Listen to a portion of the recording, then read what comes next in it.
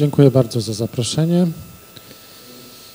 I zacznijmy może od mm, tego tytułu mm, wykładu, ponieważ no, proszono mnie, żeby wymyślił jakiś tytuł, więc wymyśliłem tytuł Bezwarunkowy dochód podstawowy, ale ten tytuł się nie podobał, więc myślałem sobie, no jak tutaj zainteresować słuchaczy i wydawało mi się, że najbardziej prowokującym tytułem będzie właśnie czy nam się należy dochód bez pracy. Ktoś mógł powiedzieć, że takie oczywiste jest, że dochody należą się tylko z pracy, więc jak ustawimy to w ten sposób, to e, słuchacze będą zainteresowani właściwie o co chodzi. Wydaje mi się, że to może przekombinowałem, bo nie wiem, jak Państwo sobie i co sobie myśleli, kiedy przeczytali ten tytuł, tak?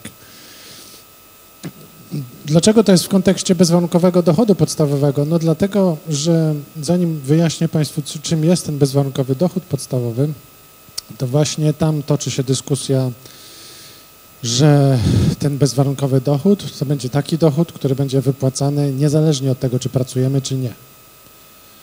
Czyli jeżeli ktoś jest bezrobotny, to ma ten dochód. Jeżeli pracuje, również ma, niezależnie od tego, czy pracujemy. Otrzymywałby by ten dochód. No, jak tak to przedstawimy, to może paść pytanie, no to czym on właściwie jest, bo jeżeli mówimy o bezrobotnych, no to są zasiłki dla bezrobotnych i ktoś może powiedzieć, no to jest dochód dla bezrobotnych. Jeżeli są osoby chore, to mają, tak, czasowy, tak. I to przez dość krótki czas w Polsce wypłacany, bo o ile dobrze pamiętam, to jest pół roku tylko. I to w dodatku spada jego wysokość wraz z upływem czasu. Jeżeli ktoś jest chory, a był ubezpieczony społecznie, no to mamy wynagrodzenie chorobowe płacone przez pracodawcę, później jest y, świadczenie chorobowe płacone z ZUS. Mamy osoby no, niezdolne do pracy, te, czy one mają prawo do jakichś dochodów. Jeżeli były ubezpieczone, no to mamy rentę z tytułu niezdolności do pracy. Co nas, nasz obecny rząd wprowadził? Tu widzę dzieci na, jako jako tak, tak, no tu widzę, że Państwo już się domyślają, 500 plus, no to też jest dochód. No, ten, ten dochód nie jest dla dzieci, tylko dla rodziców, niezależny od tego, czy rodzice pracują, czy nie. To gospodarstwo domowe z dziećmi, rodzice z dziećmi otrzymają 500 plus i jeżeli jest tych dzieci więcej, to może to być nawet spora kwota. Pokazuję tutaj te rozmaite sytuacje, w których widzimy, że ludzie otrzymują dochód, mimo tego, że akurat w danym momencie nie pracują. I w związku z tym, że niektórzy przewidują, że im dalej będziemy się posuwali w przyszłość, tym będzie coraz mniej pracy. Coraz mniej pracy etatowej, coraz, jeżeli już, to będzie praca bardzo niepewna, praca, e, nie wiem, czy Państwo się spotkali z taką nazwą umowa śmieciowa, czyli praca na umowy cywilnoprawne. Jeżeli tak, no to można by uznać, że będzie coraz więcej osób bezrobotnych, coraz więcej takich osób, dla których pracy nie będzie. Jeżeli byśmy sobie pomyśleli o jeszcze nowszych niż 500 plus rozwiązaniach rządu, to można by też mówić, że będzie też przybywało osób z niepełnosprawnościami niezdolnych do pracy, więc będzie dużo mniej pracy, zarówno dla tych, którzy są zdolni do pracy, jak i będzie więcej tych, którzy są niezdolni do pracy, ale dla nich również nie będziemy mieli pracy. Jeżeli byśmy sobie tak wyobrazili przyszłość, coraz mniej pracy, a nas nie ubywa, chociaż w dłuższym, dłuższej perspektywie no, przewidujemy ograniczenie liczby ze względów demograficznych, co może, czemu może przeciwdziałać 500+, plus, ale y, no, tego jeszcze nie wiemy. No ale załóżmy, że ludności będzie przybywać albo nie będzie ubywać, będzie liczba ludzi stabilna i wtedy będzie pojawiało się coraz bardziej takie pytanie, no to skąd te osoby w coraz większym stopniu pozbawione dostępu do pracy albo z takimi pracami bardzo niepewnymi, skąd one mają czerpać dochody. Jedna, jeden z pomysłów jest taki, żeby jak już będziemy się z taką sytuacją borykać, mm, tu jeszcze bym wspomniał o takim jednym aspekcie mówiącym, że e, automatyzacja, komputery, algorytmy roboty, to wszystko też będzie postępowało i też będzie wyeliminowało, będzie eliminowało część pracy ludzkiej. To nie tylko są prace fizyczne, ale również prace takie rutynowe o charakterze, e, o charakterze umysłowym. Czyli nawet pracownicy średniego szczebla o charakterze umysłowym również mogą e, być wyparci przez te programy komputerowe. No, taki, taki czarny obraz możemy stworzyć i pytamy, to co wtedy z dochodami? Czy wszyscy będziemy cierpieli ubóstwo, czy będzie to jakaś, czy wydarzy się tragedia, czy też wymyślimy jakiś pomysł, jak zaopatrzyć e, te wszystkie osoby w wieku produkcyjnym w dochód. I to jest ten kontekst, dla którego mm, ten temat zaproponowałem, czyli czy nam się należy dochód bez pracy. Skoro nie będzie pracy, albo tej pracy będzie mało, albo będzie jej tylko, ta, ta dobra praca będzie dla 20% osób, no to co z całą resztą? Co z całą resztą, a w szczególności jeżeli myślimy o gospodarce, no to gospodarka ma, ma coraz większe moce produkcyjne, więc te osoby, które będą traciły pracę, nie będą mogły kupować tego, co produkuje gospodarka. To kolejny argument. Myślę, że już Państwo mm, rozumieją ten kontekst, w którym ustawiam temat i jedno z rozwiązań, które jest przedstawiane dla takiej sytuacji, to jest ten bezwarunkowy dochód podstawowy. Jak sobie go wyobrazić? Wydaje mi się, że najprościej, jakbyśmy powiedzieli, teraz jest dużo prościej niż przed 500, bo jak mamy 500, to Państwo wiedzą, że jest prawie dla wszystkich dzieci, bo na pierwsze dziecko jest kryterium dochodowe, więc można powiedzieć, że prawie dla wszystkich dzieci te kryteria dochodowe są i tak wysokie, więc wiele tych, z tych pierwszych dzieci również otrzymuje 500. Ale gdybyśmy wycofali kryterium na pierwsze dziecko, to byłoby to świadczenie dla wszystkich dzieci. Wszystkie dzieci otrzymują.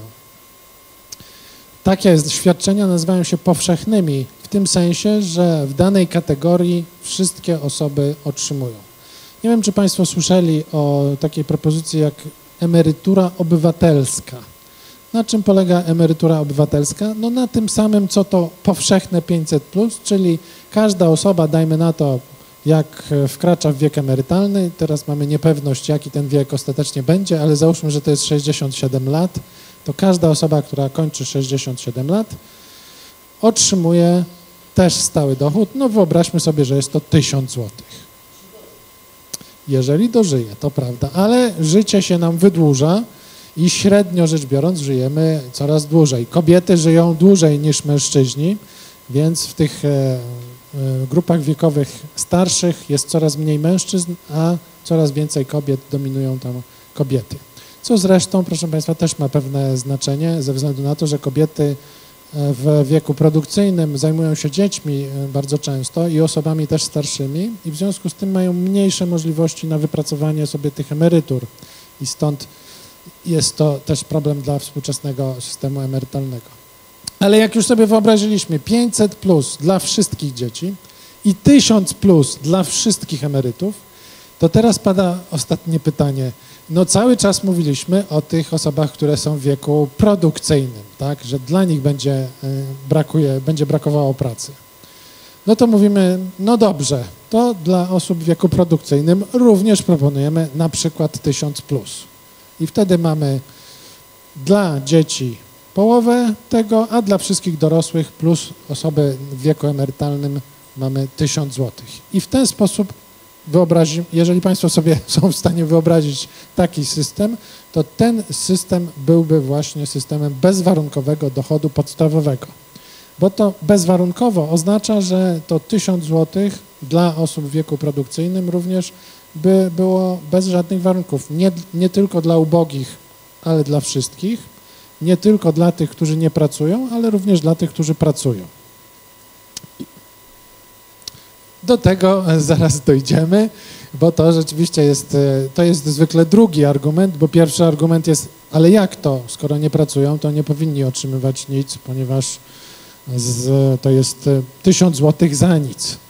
A ponieważ sobie wyobrażamy, że zawsze musimy otrzymać, jeżeli otrzymujemy jakieś dochody, to za coś, to jeżeli dajemy ludziom 1000 zł to jest za nic, więc zwykle jest pierwszy argument, ale jak to dawać im za nic? A drugi argument jest, no dobrze, jeżeli już e, przekonaliśmy się, że można, trzeba, ponieważ na przykład nie będzie tej pracy, więc nie będzie skąd tego dochodu, no to pojawia się pytanie drugie, ale skąd wziąć te pieniądze? W Szwajcarii, tak, tak, tu no, były pomysły, w jaki sposób to sfinansować, chociaż w tej kampanii szwajcarskiej no, rząd twierdził, że e, byłoby to trudne do sfinansowania bez zwiększenia podatków.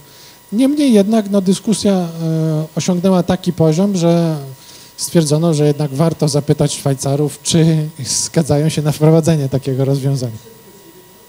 To byśmy mieli pierwszy przykład i odpowiedź na Pani pytanie, no, Pani mogła wtedy powiedzieć, ale zaraz Szwajcarzy to przecież są bardzo zamożni, ich stać, a nas może nie będzie stać. Ale wówczas byśmy powiedzieli, ale przynajmniej Szwajcarów stać, więc jak będziemy tak bogaci jak Szwajcarzy, co się wydarzy już wkrótce ze względu na e, e, strategię odpowiedzialnego rozwoju naszego rządu, to wówczas odpowiedź, byście Państwo odpowiedzieli, no to nas stać.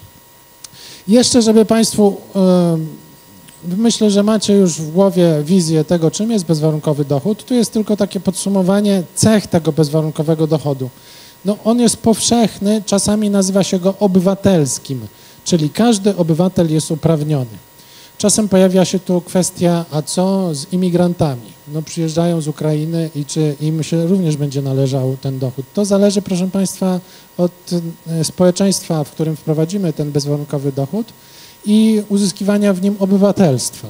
Czyli możemy powiedzieć Ukraińcom, którzy przyjeżdżają, że jak będą pracowali 10 lat, no to wtedy może bez przyznania im obywatelstwa i jakby wyrażą chęć pozostania nadal na, na, na, terenie naszego kraju, no to wtedy będziemy im wypłacać ten dochód. Albo możemy powiedzieć, że dopiero jak przyznamy wam obywatelstwo, to dopiero wtedy będzie dla was ten dochód. Bezwarunkowość, to o tym już wspomniałem. Dochód, czyli ma postać pieniężną. Nie wiem, czy Państwo pamiętają, w przypadku tego 500, była propozycja, żeby dla chętnych rodzin dać obligacje i wtedy Państwo mogli powiedzieć, że no, rezygnujemy z, z gotówki, weźmiemy obligacje, więc tu to ma mieć postać pieniężną, czyli co miesiąc na przykład wpływa na konto, czy też na koncie się nam odnawia ten tysiąc złotych. Podstawowy, no tu dlaczego ja mówię cały czas tysiąc złotych, e, nie, nie bez kozery mówię o tysiącu złotych, ze względu na to, że z obliczeń Instytutu, takiego niezależnego Instytutu e, Pracy i Spraw Socjalnych wynika, że 1000 zł to jest minimum socjalne dla jednoosobowego gospodarstwa domowego. Czyli to jest taki minimalny poziom życia, żeby przeżyć w dobrym zdrowiu i jeszcze uczestniczyć w społeczeństwie, czyli wyjść do kina, no, e, uczestniczyć w jakichś wydarzeniach sportowych. 1000 zł, 1000 zł na osobę. Tysiąc złotych na osobę. Przepraszam, ale jak są dwie osoby w jednym gospodarstwie, to się nie liczy y, tysiąc razy dwa. To wówczas e, jest trochę mniej ze względu na to, że łatwiej się utrzymywać dwóm osobom, więc nie jest to taki mnożnik po prostu. Przyjmuje się czasem, że to jest na przykład, jeżeli mamy dwie osoby w gospodarstwie domowym, to ta druga osoba ma wagę 70 i wtedy otrzymuje 700 zł. Razem to jest około średnio 800 zł. Natomiast jeżeli chodzi o ten, koncepcję tego dochodu, to tu mamy też, że on ma indywidualny charakter, czyli każdy dostaje nie ze względu na to, że się utrzymuje na przykład albo kogoś ma na utrzymaniu, tylko na utrzymanie swojej własnej osoby. I w tym sensie, e, jeżeli byśmy mieli taki system, to on by oznaczał, że jak pani tu z panem e, stanowią jedne, dwuosobowe gospodarstwo domowe, to zarówno pani miałaby tysiąc, jak i pan. Ja jakbym żył w takim jednoosobowym gospodarstwie domowym, to też bym dostał tysiąc, czyli indywidualnie jest, bo teraz dużo świadczeń jest, y, szczególnie z tych, y, z pomocy społecznej, no, przelicza się kryteria dochodowe na członków rodziny, gospodarstwa domowego, więc zależy od dochodów y, tych osób w gospodarstwie domowym, ile otrzymamy i czy otrzymamy. A to jest indywidual, ma indywidualny charakter. Jest stały, tak jak Pan tu wspomniał, no, tu zasiłek dla bezrobotnych najwyżej 6 miesięcy i koniec. Niektóre świadczenia są, wydają się stałe, na przykład emerytura jest wypłacana stale aż do końca życia. Renty z tytułu niezdolności do pracy czasem mają czasowy charakter i można utracić prawo do renty z tytułu niezdolności do pracy, ale jeżeli ktoś nie utraci tego prawa, no to wtedy jest przekształcone, później to prawo w emeryturę i mamy do końca życia. Więc e, w tym sensie e, e, bezwarunkowy dochód będzie podobny do świadczeń takich, które są długoterminowe i do końca życia. Z tym, że jeżeli byśmy myśleli tu o obywatelstwie, no to osoby, które by wyjechały z kraju, należałoby się zastanowić, no co z nimi i w jakim stopniu dla nich miałby ten dochód, miałby im być wypłacany. Więc za każdą z tych cech no, są pewne problemy i rozmaite zagadnienia. Ja zastanawiałem się nad tym, jak, proszę Państwa, no, um, pokazać specyfikę tego bezwarunkowego dochodu podstawowego na podstawie, e, w porównaniu z tym, co już mamy, a to, co już mamy, to jest taka idea minimalnego dochodu gwarantowanego. To jest e, idea, która tym się różni od bezwarunkowego dochodu, że jak jesteśmy ubodzy, na przykład nasze dochody są niższe na osobę niż ten 1000 zł, to przykładowo mówię, to wówczas nam się dopiero należy świadczenie. I to jest taka idea gwarantowania tego.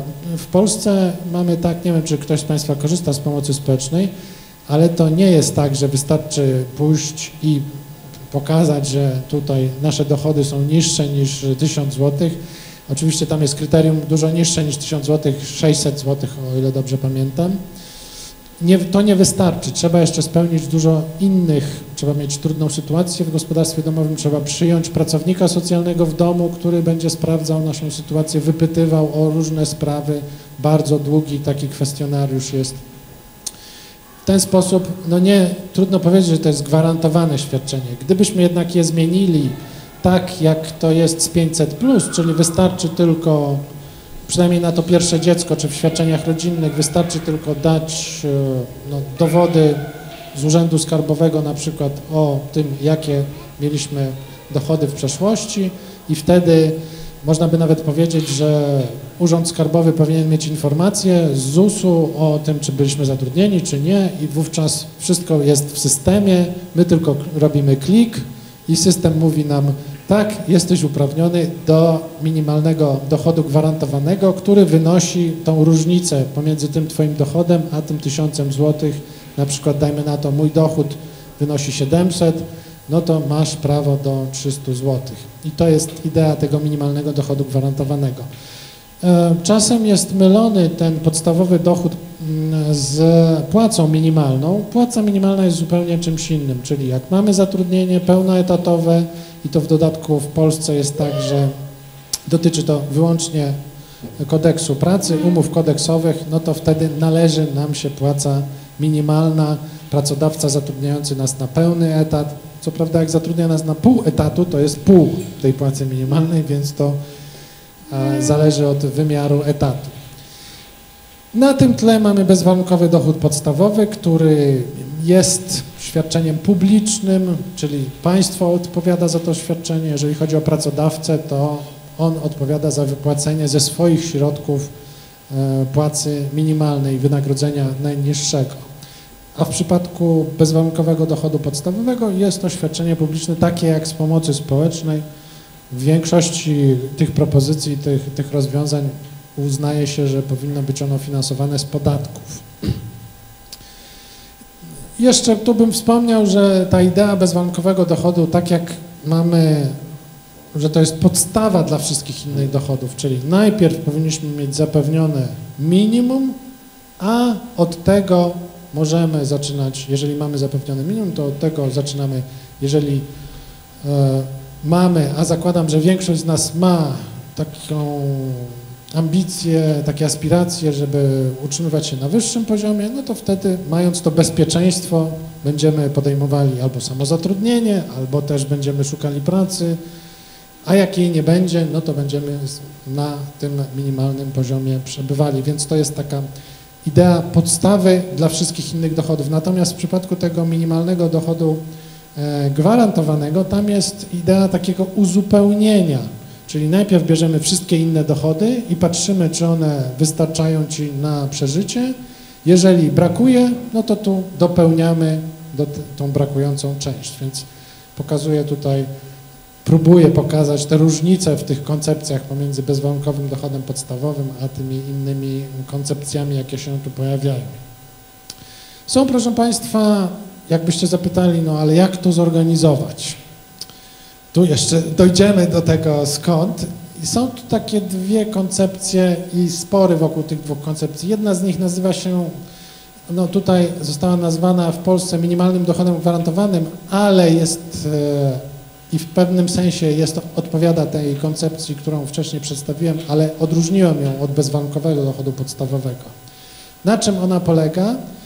To ona jest związana, proszę Państwa, z niejakim Miltonem Friedmanem, najczęściej jest związana, to, jest taki, to był taki ekonomista amerykański, bardzo no, czasem nazwany neoliberalnym, taki e, afirmujący kapitalizm, i krytykujący zaangażowanie państwa, ale jednak doceniający to, że powinniśmy pomagać tym, którzy mają niższe dochody. I miał taki pomysł, no to jak to zrobić? Jego pomysł polegał na tym, żeby zintegrować system pomocy społecznej z systemem podatkowym. Jak to zrobić?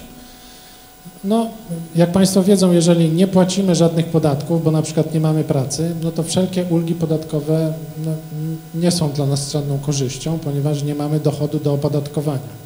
Nawet jeżeli mamy ten dochód do opodatkowania, ale on jest zbyt niski, żeby wykorzystać w pełni ulgi i odliczenia, no to również ta część nie w pełni z tego korzystamy. Dopiero bardziej zamożne osoby z dochodem wyższym z, z tego mogą skorzystać w całości.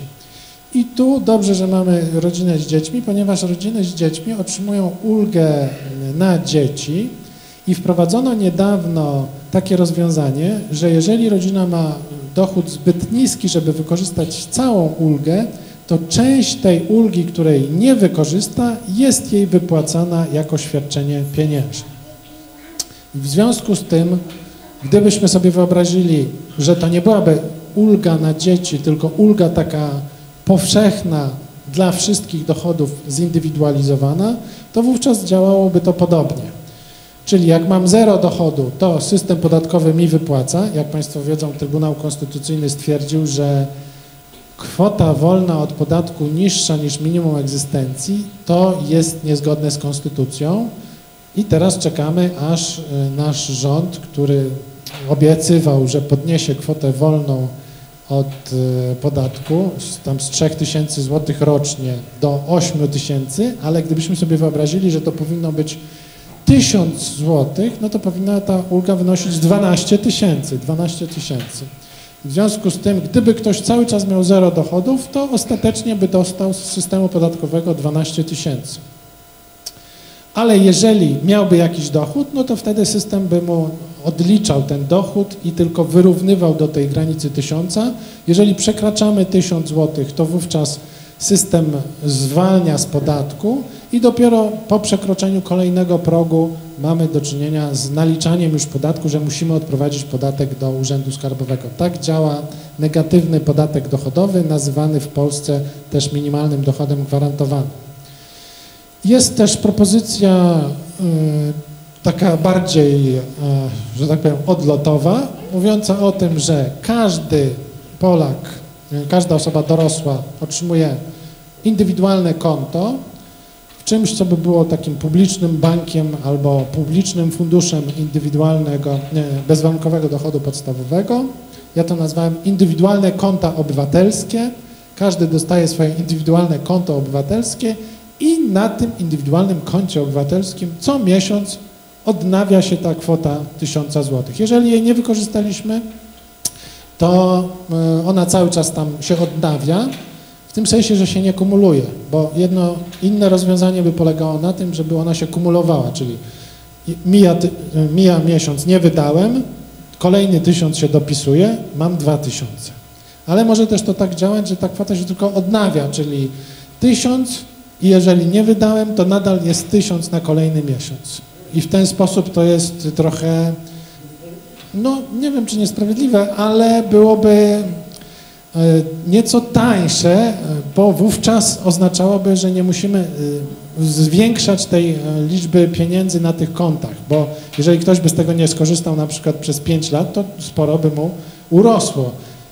Kiedyś myślałem, że no właśnie, to jest interesujące zagadnienie. Jak... To prawda, bo to by oznaczało, że no, skoro nie wykorzystałem, no to tak, tak, mógłby, rzeczywiście byłby wtedy bodziec, żeby zrobić wszystko, żeby wypłacić, bo wtedy no, na tym tracimy. I tak, Różne sposoby są dyskusji, proszę Państwa, na ten temat. Ja już e, chyba od 2013 roku w rozmaitych dyskusjach e, uczestniczę i te dyskusje no, e, są czasem trudne, bo ludzie pukają się w głowę, mówią, a jak to, tak jak wspomniałem, jak to możliwe, że bez pracy ktoś ma coś dostawać, b, jeżeli już, no to pojawia się drugi argument, to będzie tyle kosztowało, że zrujnuje to gospodarkę i E, wyjdzie nam to na gorsze. Jak to więc możliwe, że ktoś e, jest za takimi rozwiązaniami? Tu podaję zestaw argumentów, które są zwykle stosowane, kiedy e, wchodzą w grę dyskusje i kiedy ludzie twierdzą, że bezwarunkowy dochód podstawowy to jest dobre rozwiązanie. Niektórzy twierdzą, że kryzys E, ten z 2008 roku, który notabene Polskę trochę oszczędził, ale że ten kryzys jest kryzysem tak głębokim, że on oznacza, że załamał się, załamał się kapitalizm razem z tymi wszystkimi instrumentami, które zostały wytworzone również w kapitalizmie, na przykład ubezpieczeniami społecznymi, bankami. To wszystko jest w kryzysie i w związku z tym pojawia się pytanie, no to czym to zastąpić? i niektórzy mówią, no to może powinien być inny system niż kapitalistyczny, a inni mówią, no to będzie, powinien być kapitalizm, ale z innym e, mechanizmem zabezpieczającym nas w tym nowym, nowym e, kapitalizmie. Jest też argument z ubóstwa.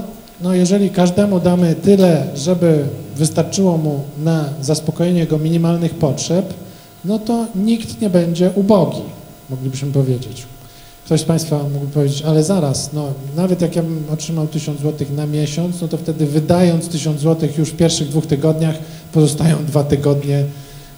No, wówczas moglibyśmy powiedzieć, że część tego systemu to byłaby nauka ludzi, jak przeżyć za ten 1000 zł, albo ktoś mógłby powiedzieć, no to niech to będzie co dwa tygodnie, 500 zł, tak żeby wyszło 1000 miesięcznie.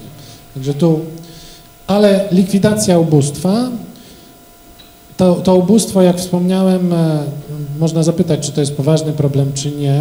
No w Polsce, proszę Państwa, skrajnie ubogich e, osób jest według GUS-u około 2,5 miliona, a takich ubogich, czyli bardzo odbiegających od średniej, to jest około 6 milionów.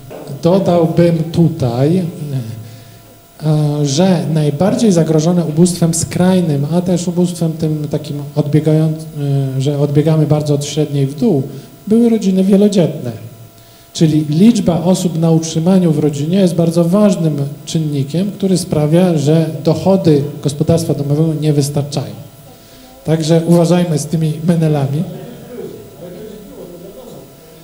Tak, tak. No ale wśród tych ubogich jest bardzo dużo dzieci, E, jeżeli chodzi o osoby w wieku emerytalnym, to jest ich mniej wśród skrajnie ubogich i wśród e, ubogich, chociaż po wprowadzeniu nowego systemu państwo tutaj, którzy są emerytami, są w starym systemie. E, no, część z młodzieży tu jest już w nowym systemie, nie miała wyboru. Niektórzy mieli wybór i źle wybrali.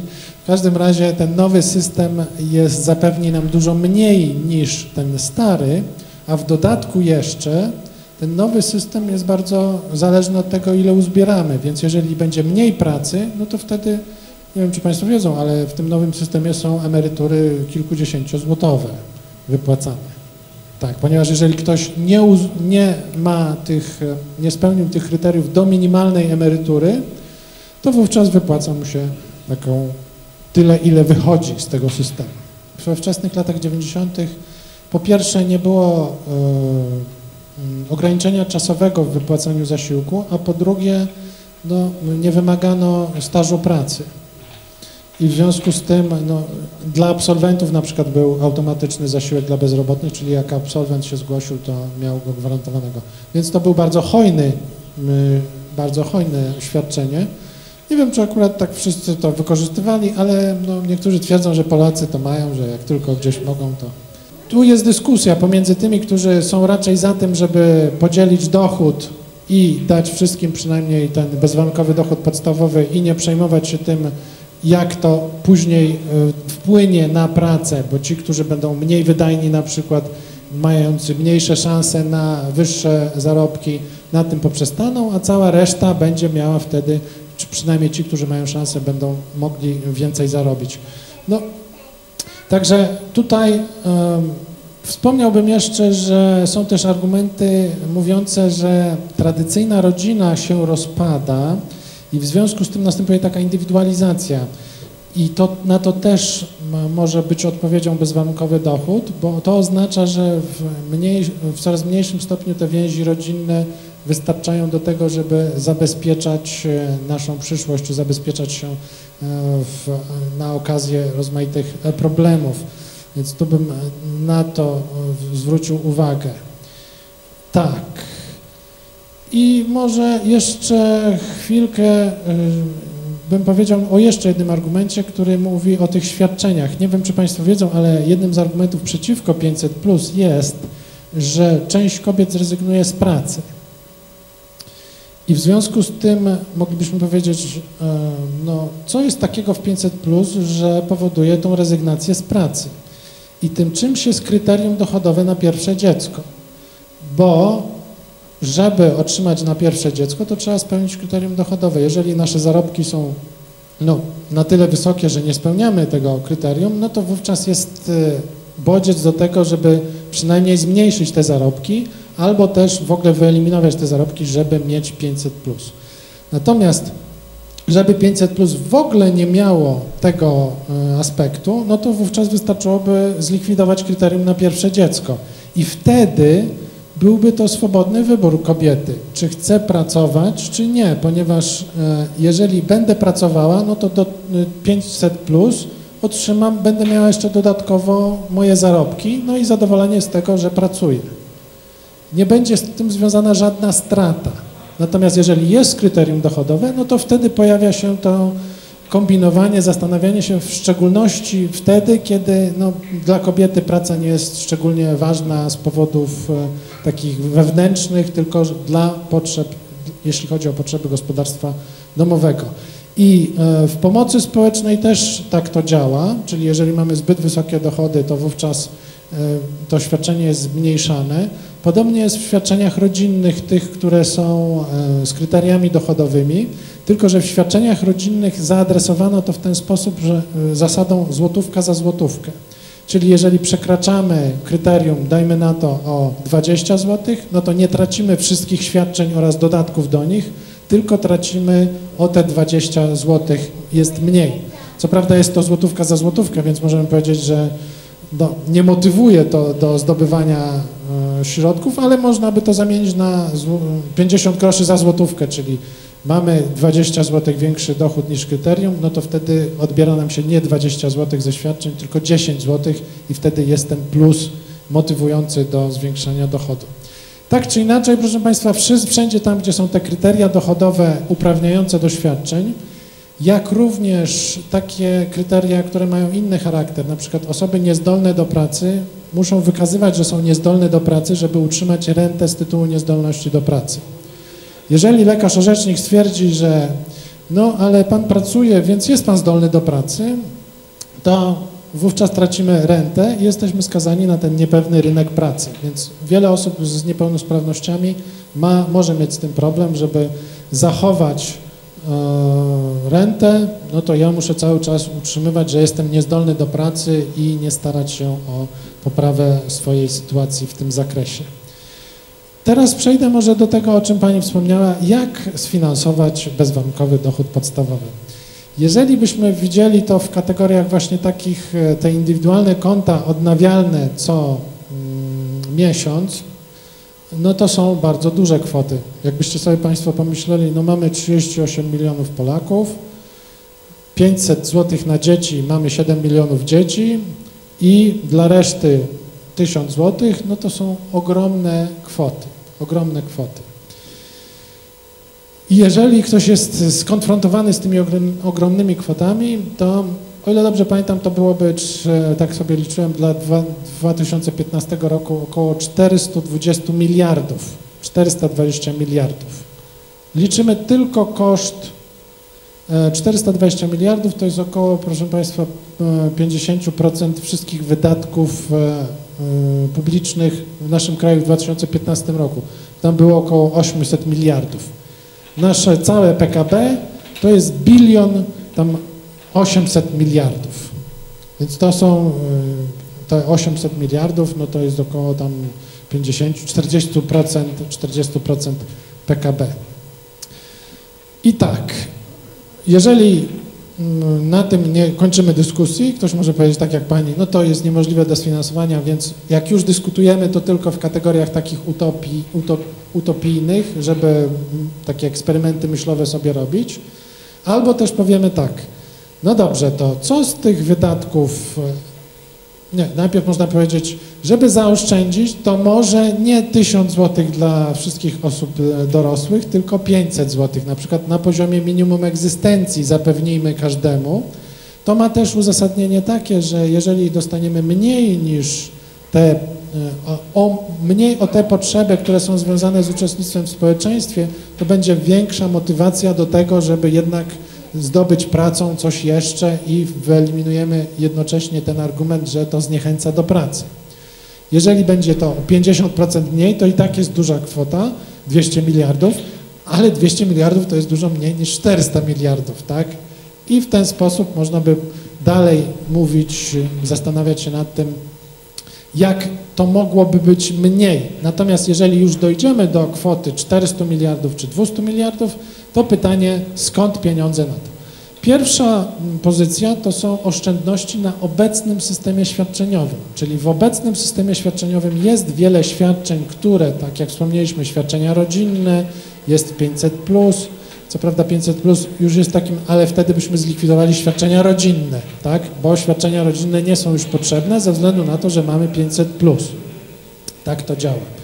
Jeżeli chodzi o minimalną emeryturę i rentę, no też są niepotrzebne, więc część środków z obecnego systemu jest przekierowana na ten system e, bezwarunkowego dochodu podstawowego. Ktoś może powiedzieć, ale czy to wystarczy?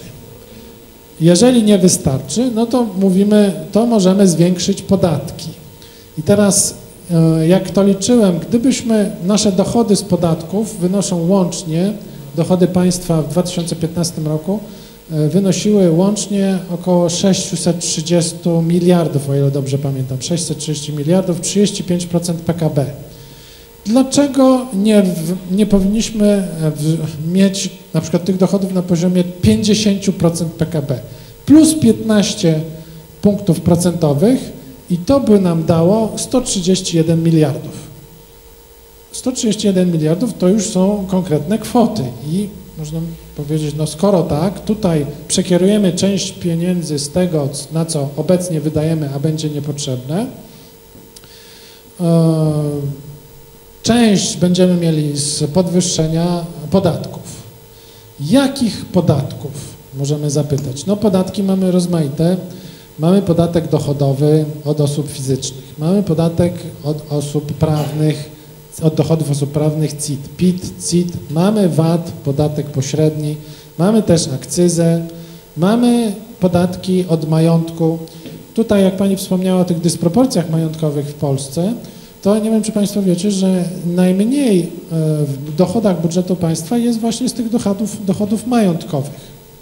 W Polsce już proponowano kilka razy wprowadzenie podatku katastralnego. To jest podatek od wartości nieruchomości. I no, gdybyśmy go wprowadzili, to wówczas osoby, które mają bardzo duże domy i tak dalej, teraz płacą bardzo niskie podatki, bardzo im by się zwiększyły podatki. E, jednym z kontrargumentów jest, ale osobom starszym, które mają mieszkania, bo jak Państwo wiecie, wyjście z, komunizmu, z socjalizmu realnego było związane z masową prywatyzacją zasobów mieszkaniowych i wielu z nas, wielu z Was, chociaż młodzież już niestety nie miała takiej, takiego komfortu, ale młodzież będzie dziedziczyła te mieszkania po osobach starszych, które je w postaci prywatyzacji zasobu mieszkaniowego mają. Ale to na to można by też odpowiedzieć. No jeżeli osoba starsza będą wyższe te podatki, no to wówczas można jakoś to zaadresować, e, wprowadzić jakieś rozwiązania zmniejszające ten wzrost kosztów dla osób starszych, które są ubogie. To dodatkowo mogłoby nawet, proszę Państwa, zwiększać bodźce do zamiany mieszkań. Jak wiemy, wiele osób e, starszych mieszka w dużych mieszkaniach, które są drogie swoją drogą, a będą jeszcze droższe, jeżeli będziemy mieli podatek od wartości nieruchomości, no to wówczas będzie dodatkowy bodziec, żeby zamienić się na mieszkanie. Także nie jesteśmy tacy bezradni w odpowiedzi na argument, a ile to będzie kosztować? Oczywiście, jeżeli byłby tu ekonomista na sali, no to by powiedział, wzrost podatków to oczywiście zabija gospodarkę, zabija miejsca pracy i tak dalej ale powiedziałbym, no ale wzrost podatku i ten podatek katastralny, to on nie jest podatkiem nas, składanym na pracę czy na dochody firm, to jest podatek nakładany na własność, na majątek. Co z VAT-em, byśmy mogli powiedzieć? Co z VAT-em? No VAT, no ile powinien właściwie wynosić VAT? 20%, 15%? Czy potrzebne nam są ulgi w VAT-ie? To jest kolejna odpowiedź na pytanie, ponieważ obecny system, jak Państwo wiecie, podatkowy ma wiele ulg, zwolnień, preferencji i to nie tylko są ulgi, zwolnienia i preferencje dla ubogich, ale dla firm prywatnych i tak dalej. Jeżeli byśmy się tego pozbyli i mieli prosty system podatkowy, niektórzy cenią prosty system podatkowy, a prosty system podatkowy to jest system bez żadnych ulg, odliczeń, tam różnych stawek, na tym można mogą być tutaj rozmaite wyłudzenia i wiemy, że nasz obecny rząd bardzo dużo chce zrobić, żeby uszczelnić system podatkowy VAT. Jedna z dróg ku uszczelnieniu systemu podatkowego VAT jest ujednolicenie stawek. Jakbyśmy je ujednolicili do poziomu 25%, no to wtedy znowu mamy dodatkowe. To się przekłada na ceny dla konsumentów i możemy powiedzieć, że no, ale co wtedy? Tylko, że z drugiej strony, jak e, płacimy bezwarunkowy dochód podstawowy, no to on może częściowo przynajmniej ten wzrost cen zaadresować. Jest jeszcze taka idea, proszę Państwa, żeby, pod, żeby finansować bezwarunkowy dochód podstawowy z mm, kreowania pieniądza.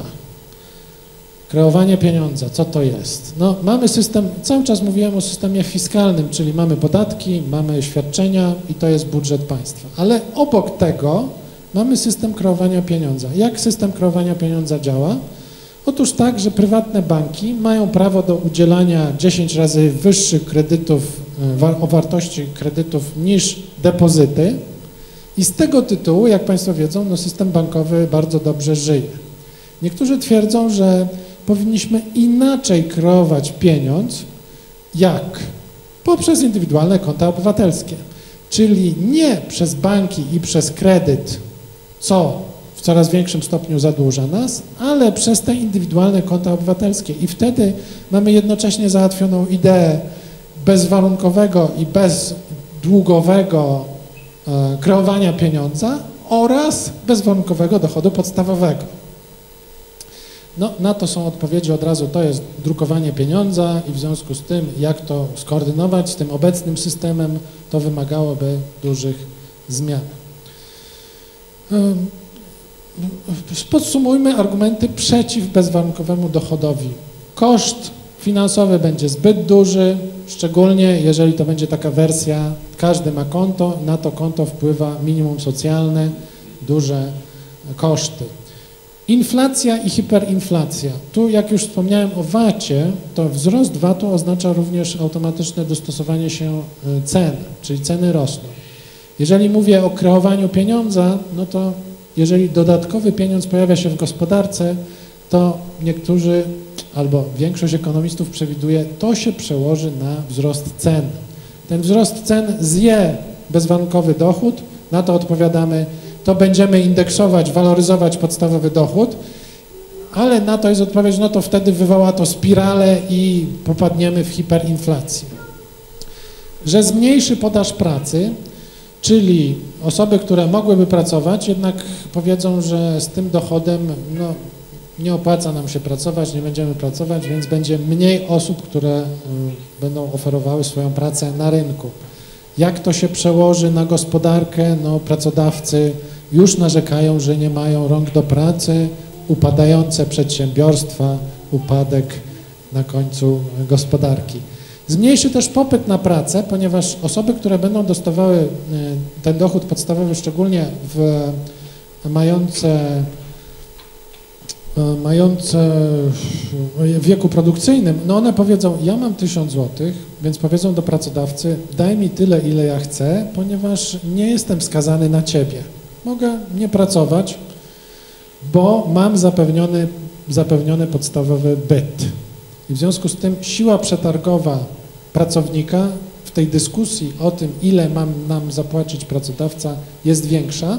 Jeżeli tak, to można przewidywać wzrost kosztów pracy dla pracodawców, a więc część z nich zbankrutuje albo nie będzie im się opłacało i stąd jest tu zmniejszony popyt na pracę.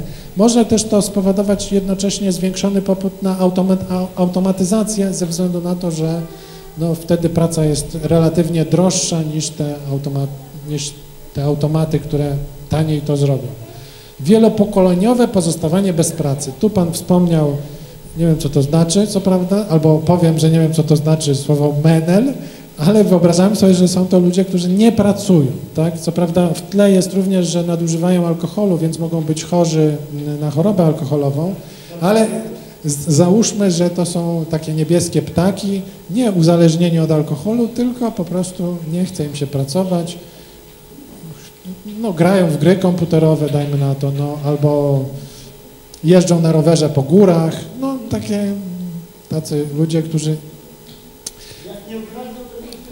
No, tutaj nie chodziłoby o kradzież, ponieważ wszyscy mają zapewnione to minimum, ewentualnie na te hobby, na to hobby. Nie jest lepszy niż to, co mamy. To jest kolejny argument. Mamy państwo dobrobytu, to państwo dobrobytu, jak państwo, w, no, czy Polska jest państwem dobrobytu, moglibyście zapytać. No, jeszcze nie do końca, więc to są różne zdania, ale jak sobie wyobrazimy, że 800 miliardów złotych idzie na rozmaite wydatki i te, to są, najwięcej idzie na emerytury i renty, około 320 miliardów. Później jest tam 60 miliardów na zdrowie, 50 miliardów na e, edukację i tak dalej, i tak dalej, więc bardzo dużo. No co prawda 41%, moglibyśmy jeszcze dobić do 50% PKB, więc nie jest to na pewno państwo minimalne, proszę Państwa. Nie jest to na pewno państwo minimalne. Czy moglibyśmy więcej wydawać? Uważam, że tak, co najmniej 50%. Teraz wydajemy 41%. Kwestia, ile zdołamy w dochodach wygenerować, no tu mniej jest w dochodach, stąd jest deficyt i ten deficyt przeszkadza wielu, ale w każdym razie nie jest lepszy niż to, co mamy. Szczególnie kraje takie jak Holandia czy kraje skandynawskie, gdzie dużo bardziej rozwinęło się to państwo dobrobytu, no to tam ktoś może powiedzieć, no czy ten bezwarunkowy dochód no coś wniesie do tego systemu, który mamy. I dopiero tam pojawia się argument, ale to, co mamy, jest nie do utrzymania, więc co zaproponujemy w zamian za to? Zbyt radykalny politycznie. No jak Państwo widzą, 500 plus nie było zbyt radykalne politycznie. Ale tu mamy dzieci, mamy argument demograficzny, starzejące się społeczeństwo i tak dalej. Jeżeli by ktoś zaproponował 1000 zł dla każdego Polaka dorosłego, no to jest dużo bardziej radykalne niż 500 plus dla każdego dziecka i niż oczywiście nawet 1000 zł dla każdego emeryta postaci minimalnej emerytury, czy tej obywatelskiej emerytury. To też można powiedzieć jest, szczególnie jeżeli mamy takie wyobrażenie, że emeryci będą żyli w ubóstwie, bo ten nowy system daje im bardzo niewielkie świadczenia, więc to będzie cały czas, e, ten argument będzie rósł w siłę. ale tu chodzi o danie tym, którzy są w wieku produkcyjnym. Jak to rozwiązać, ktoś mógłby powiedzieć. Po pierwsze, mamy osoby z niepełnosprawnościami, więc e, zacznijmy może od nich, bo teraz mają renty z tytułu niezdolności do pracy, ale trzeba wykazywać, że jest się niezdolnym do pracy, uważać, żeby tam nie stracić tej renty i to wszystko zniechęca ich do pracy. Drugi punkt tu jest istotny, a może tylko dla kobiet najpierw w wieku produkcyjnym. Wiemy, jeden z ważnych argumentów, proszę Państwa, w tej dyskusji jest taki. Kobiety pracują, na czym polega to za tym, e, e, no, najpierw dla kobiet. Dlaczego? Tak? Ponieważ kobiety, tak czy inaczej, proszę Państwa, nawet gdyby nasi mężczyźni byli tacy jak mężczyźni skandynawscy, to i tak było, była, jest to kropla w morzu. Po prostu kobiety, jeżeli chodzi o pracę domową, pracę opiekuńczą, czyli pracę w gospodarstwie domowym, czy zajmowanie się gospodarstwem domowym i opiekę nad dziećmi i osobami starszymi i niesamodzielnymi, to jest wielki, no, niedoceniony obszar. Nie wlicza się go do PKB i tak dalej. Może zamiast takiego kryterium obniżyć wiek to e, wiek emerytalny do 30 e, lat, do 50. No, wtedy by i tak nam zostawali ci, którzy są w tym e, no, obszarze też zwiększonych obowiązków opiekuńczych. Czyli można zastanawiać się, jak zmniejszyć ten radykalizm tej, tej propozycji. Tak jak wspomniałem, już środowiska osób z, z niepełnosprawnościami i opiekunowie osób niesamodzielnych, nie wiem czy Państwo pamiętają, e, domaganie się uzawodowienia opieki i to dotyczyło nie tylko opiekunów dzieci z niepełnosprawnościami, ale również osób starszych niesamodzielnych. Co to oznaczało? Oznaczało już teraz, proszę Państwa, świadczenie pielęgnacyjne wynosi 1300 zł, jeżeli pod warunkiem rezygnacji z pracy. Bezwarunkowy dochód sprawiłby dla kobiet, sprawiłby, że no, ten argument by odpadł. No, on ma wiele kwestii za sobą, czyli od razu się podniosą głosy, a dlaczego nie mężczyźni? Feministki powiedzą, ale to przecież będzie trzymało kobiety w domu i tak dalej. No pojawią się te argumenty. No, jak będzie trzymało, no to nie będzie w ten sposób, że właśnie te, które będzie trzymało, to będzie trzymało. Te, które wybiorą pracę i ten bezwarunkowy dochód, ponieważ nie będzie to tak, że jak zrezygnujesz z pracy, to wtedy dostaniesz. Tylko dostajesz cały czas, więc no, jeżeli chcesz pracować, możesz pracować. Także tu wydaje mi się to być dobrym rozwiązaniem, tak żeby na początek zmniejszyć radykalizm tej propozycji, kiedyś tam oczekując, że jak się spełnią te czarne scenariusze i rzeczywiście będzie mało pracy dla mężczyzn i kobiet, no to wtedy pojawi się ten argument, no to również dla mężczyzn Szczególnie jeżeli weźmiemy e, dla osób z niepełnosprawnościami, tam mamy i kobiety, i mężczyzn, tak? Więc tutaj, jeżeli chodzi o mężczyzn, to ten wątek niepracujących mężczyzn, nieposzukujących pracy, to są zwykle mężczyźni, którzy mają jakieś kłopoty zdrowotne, e, w wieku już e, nieco starszym, no dajmy na to 40 plus, 50 plus. Jak ta dyskusja w Polsce, proszę Państwa, przebiegała? Jest taka grupa, oni się nazywają kredyt, kredytowcy, kredytowcy. Jest taka grupa, proszę Państwa, która nazywa ten bezwarunkowy dochód inaczej. Oni mówią, że to jest dywidenda, że każdy Polak należy mu się dywidenda od tego, co wszystkie pokolenia Polaków wypracowały, od tego, co pod ziemią i nad polską ziemią jest, i że to się należy każdemu. Skromna dywidenda dla każdego, od tego majątku narodowego.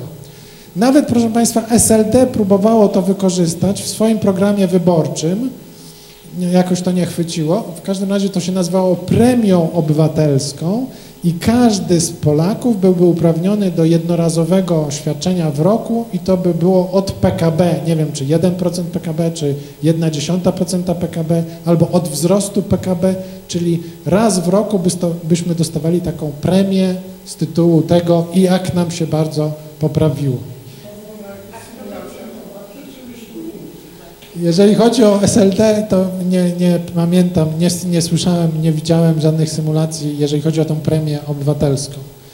Więc mamy tych zwolenników kredytu społecznego, oni są czasem nazwani kredytowcami, oni są bardzo surowymi krytykami systemu bankowego i ta krytyka po kryzysie, wielkim kryzysie finansowym z 2008 roku jest bardzo nasilona, czyli system bankowy, finansjalizacja gospodarki i zróbmy coś, uzdrówmy system finansowy tak, żeby on się nie opierał przede wszystkim na pieniądzu dłużnym i na kreowaniu tego pieniądza przez banki prywatne. Największe jednak zainteresowanie wzbudziła taka inicjatywa europejska w 2013 roku, w której to, e, nie wiem czy Państwo wiedzą, co to jest inicjatywa obywatelska, to jest taka e, instytucja, że jak milion podpisów zbierzemy wśród e, zwolenników pewnej idei w krajach Unii Europejskiej, to możemy to zgłosić jako do Parlamentu Europejskiego, do organów Unii Europejskiej, żeby się tym zajęły. To tak jak inicjatywą obywatelską był ten projekt zaostrzenia prawa obywatelskiego. To przecież nie Prawo i Sprawiedliwość zgłosiło ten, y, ten projekt, tylko grupa obywateli zebrała 100 tysięcy podpisów, więc tu działa to tak samo. I w 2013 roku była taka inicjatywa aktywistów działających na rzecz bezwarunkowego dochodu, żeby zebrać ten milion podpisów i to zmobilizowało również w Polsce środowiska, które myślały o tym, żeby Unia Europejska się tym zajęła. E, zajmowało się tym Stowarzyszenie Dom Wszystkich Polska. To nie, nie, wiem, czy Państwo kojarzą z posłem Kaliszem. To jest Stowarzyszenie posła Kalisza, ale była tam również e, Kancelaria Sprawiedliwości Społecznej. Nie wiem, czy kojarzycie, były poseł Ikonowicz. E, oraz Partia Zieloni i Społeczeństwo FER. To, jest, to było takie, takie ugrupowanie, ugrupowanie, już nie pamiętam nazwiska tej, e, tego, tej, e, wyleciało mi.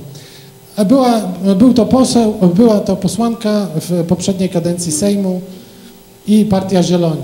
Partia Zieloni. Więc taka, no, nie jakieś główne siły. Mm, nie, nie, nie, nie, nie. To była, to dość szczególna osoba, bo zmieniła płeć. Grodzka, Grodzka, tak, Grodzka. O. I społeczeństwo FER to jest jej organizacja.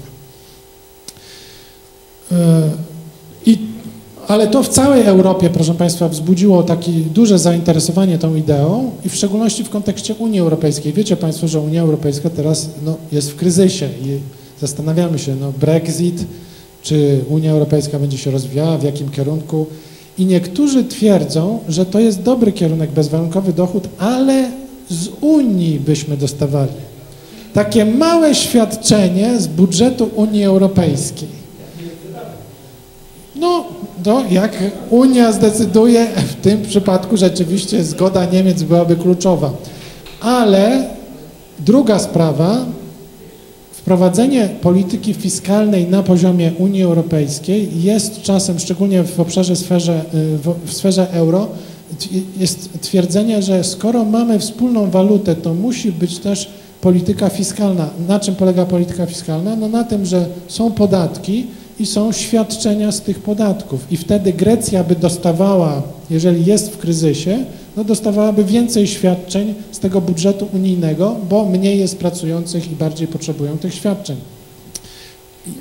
Rozpatruje się, proszę Państwa, e, takie rozwiązania jak e, zasiłek dla bezrobotnych, europejski zasiłek dla bezrobotnych, czyli nasz bezrobotny miałby zasiłek polski, i do tego miałby jeszcze zasiłek europejski. Tak jest w krajach typowo federalnych krajach, na przykład w Stanach Zjednoczonych, czyli mamy programy federalne, na przykład świadczeń pieniężnych, a do tego Stany jeszcze dodają swoje własne programy i to by działało w ten sposób. E, no, za tym stoi taki, taka idea jednak stworzenia Unii Europejskiej dużo bardziej podobnej do państwa federalnego niż ona jest obecnie. A wiecie Państwo, że ten kryzys wywołał raczej takie tendencje odśrodkowe, czyli mniej Unii, no tu powinna być ta bardziej Unia państw niż takie państwo, które nam coś dyktuje. Nasz kraj jest tu raczej w tej grupie bardzo sceptycznych, jeżeli chodzi o rozwijanie Unii w tym e, kierunku. Więc w, I to, co, o czym Pan wspomniał, ta inicjatywa e, w Szwajcarii była bardzo ciekawa. E, no, ci aktywiści szwajcarscy doprowadzili do tego, zebrali podpisy. Szwajcaria jest takim krajem, gdzie jest dużo referendów i między innymi takie referendum zostało ogłoszone. 20% społeczeństwa szwajcarskiego poparło tą ideę. No możemy powiedzieć 20%, no to jednak dużo. Albo możecie powiedzieć, no to jednak bardzo mało.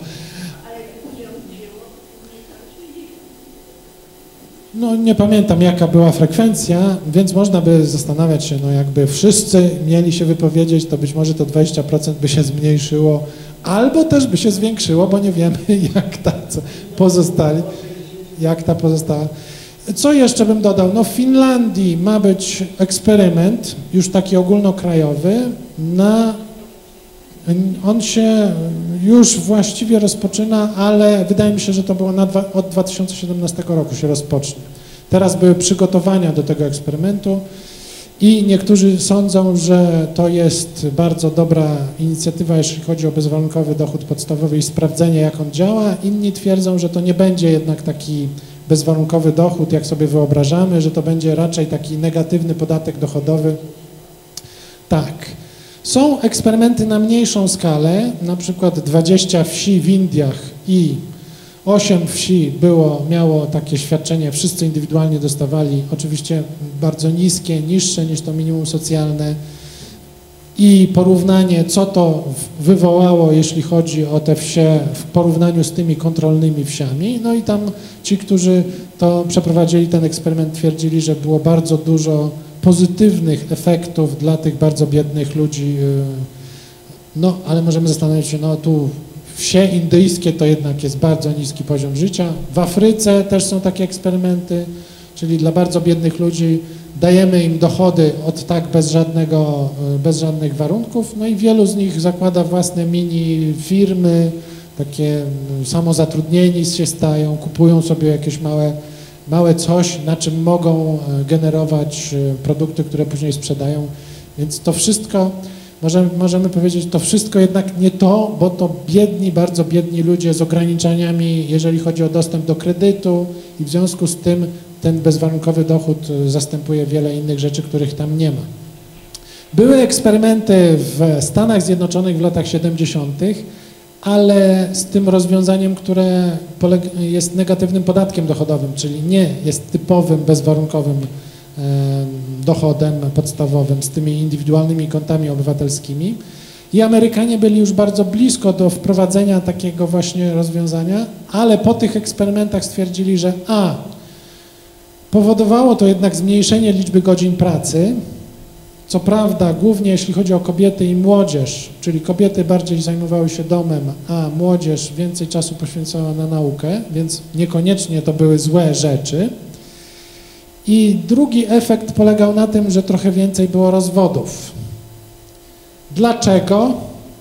No dlatego, że zagwarantowanie na, na poziomie indywidualnym dochodu uniezależnia jednak kobietę od mężczyzny, bo w tradycyjnej rodzinie mamy mężczyznę, który zarabia i decyduje, na co, ma na co mają pieniądze iść i daje też kobiecie część tej swojej płacy. Jest ona więc zależna od y, niego. Jeżeli jednak każdy ma swój własny dochód, no to wtedy ta niezależność kobiety jest większa. Jak wprowadzono 500, to jednym z takich efektów, który przewiduje się, jest taki, że część kobiet odejdzie od przemocowych mężczyzn, dlatego, że będą bardziej niezależne, że da im to większą niezależność od y, mężczyzny.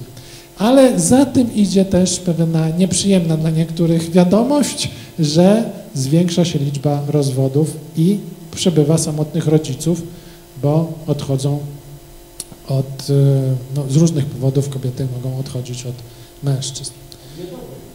Od niedobrych, tak. Od niedobrych. Od niedobrych. Tak. I zakończę, zakończę tylko, proszę Państwa, no, jedną informacją, że powstała Polska Sieć Dochodu Podstawowego, czyli takie stowarzyszenie, które ma na celu upowszechnianie wiedzy na temat tego rozwiązania. Niekoniecznie wiedzy takiej no, stronniczej, tylko żebyśmy byli tylko i wyłącznie zwolennikami tej idei i przedstawiali ją stronniczo jako dobre rozwiązanie na wszystko, ale żeby Polacy również jak inne osoby na świecie też mogli przedyskutować to zagadnienie, wiedzieć jakie są argumenty za, jakie przeciw, żeby jak przyjdą politycy i zaczną obiecywać, no to żeby swoje zdanie na ten temat mieli. I to wszystko, jeżeli Państwo mają jakieś pytania, wątpliwości,